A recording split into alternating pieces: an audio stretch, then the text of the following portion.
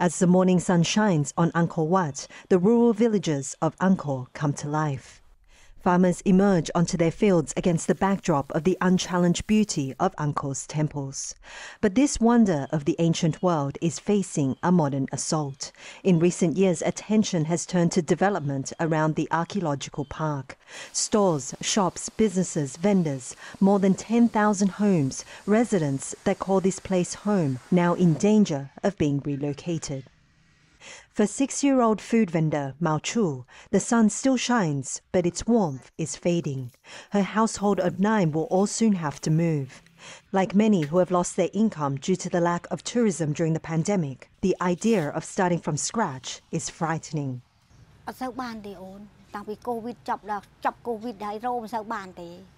វាមិនចង់គ្រប់ទៀតណាលក់វាអត់ដាច់ ថ្ងៃណាក៏ដាច់ទៅថ្ងៃណាក៏អត់ទៅណាអូនវាអត់ទៀងណា នៅណាអូនទៅធ្វើទេទៅតែរើពីនេះទៅយកទៅធ្វើណោះបាននេះហើយខ្ញុំនៅដងក៏អត់បន្ទប់ទឹកក៏អត់អត់ទាន់បានមានលុយធ្វើទេអូន The jewel of Cambodia tourism, Angkor Wat was declared a World Heritage Site in 1992, quickly becoming the country's most popular attraction, powering the local economy with more than 2 million visitors every year. Along with that came a massive building boom in and around Siem Reap town, the gateway to the temple complex.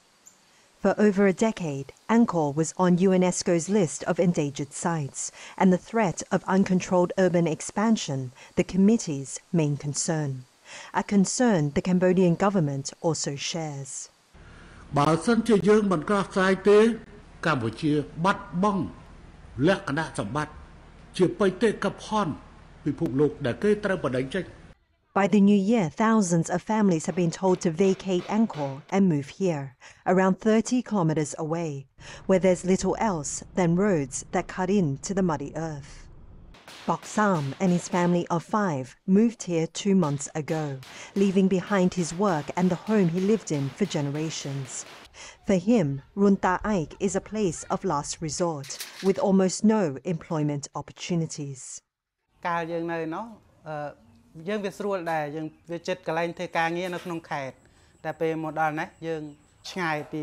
តំបន់ការងារព្រោះនៅនេះអត់ទាន់មានអភិវឌ្ឍអីដែលថាបានជឿនលឿនទៅមុខប៉ុន្តែខ្ញុំសង្ឃឹមថាថ្ងៃក្រោយទៅនឹងអភិវឌ្ឍបានល្អជាងនេះ We never know what a new year will bring, but for thousands of families that will spend it packing up their belongings and leaving their entire lives behind, the future has never been so uncertain. The 9th century temples of Angkor now faced with modern problems, mass relocations in the name of cultural protection. Lucita Sao Gao, CGTN, Thailand.